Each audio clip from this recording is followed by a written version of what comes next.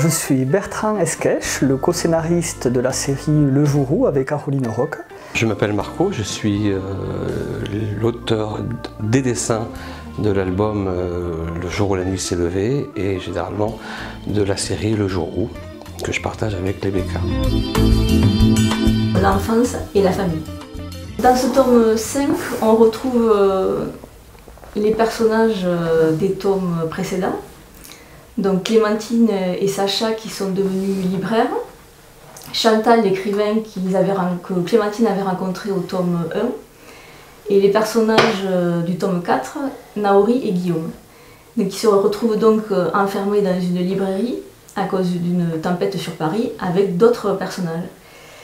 Et ça sera l'occasion pour eux de dévoiler euh, leur enfance, leurs blessures d'enfance qui a été causée principalement donc par euh, leur famille, leur relation euh, familiale avec leur père, leur mère, euh, leur sœur, leurs frères.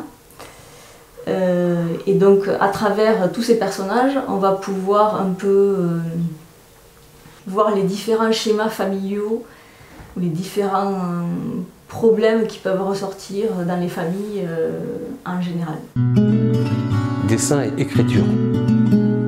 Dessiner cette histoire-là, ça aurait été à la trop simple. Il fallait trouver une écriture. Euh, le dessin étant euh, une ligne qui va euh, circuler, avoir un rythme particulier. Et chaque album va proposer des rythmes particuliers, des graphismes ou des cadences particulières. Et là, ce confinement de ces personnages-là dans cette librairie va faire qu'à un moment donné, je vais devoir aussi calmer mon, mon dessin, me poser sur eux et pour m'arrêter sur chaque personnage. On n'a pas beaucoup de cases, une bande dessinée c'est 54 euh, pages, 9 cases en moyenne par planche, et on va balayer d'un travelling les personnages et on va essayer assez rapidement, avec un trait, de les définir, parce que ces personnages-là vont devoir s'exprimer pendant l'échange qu'ils ont entre eux. Donc je lis mon dessin à, une écriture, parce que le dessin étant la globalité euh, de, ce qu'on regarde, l'écriture étant euh, l'outil dont je me sers pour faire parler mes, euh, mes personnages. Narration, c'est ce qu'on appelle une série chorale, c'est-à-dire il y a plusieurs personnages que l'on va suivre et dont les histoires, les destins s'entremêlent au fur et à mesure qu'avance la narration la plus globale. on va parler d'arche en fait en termes techniques. Chaque personnage représente une arche, un arc, c'est-à-dire une ligne de vie avec son début, son milieu, sa fin. Et la somme de toutes ces arches forme donc ce qu'on appelle une série chorale qui évidemment doivent, sont censées se rejoindre au final pour converger vers une même on peut parler de résolution s'il s'agit d'enquête policière, mais là c'est pas le cas, on va parler plutôt d'un aboutissement commun, d'un voilà, éclairage, d'un regard sur la vie que tous ces personnages ont, en commun. Lumière.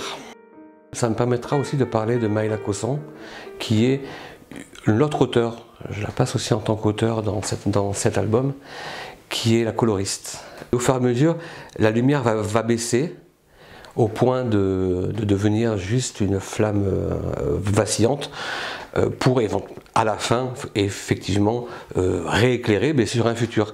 Et Maïla a vraiment bien appuyé ce travail-là qui est de seconder les intentions des scénaristes et de mon dessin et de mon écriture pour accentuer et euh, donner un peu plus de profondeur et à un moment donné quand on est dans le noir, on redonne énormément de, de lumière à cet album.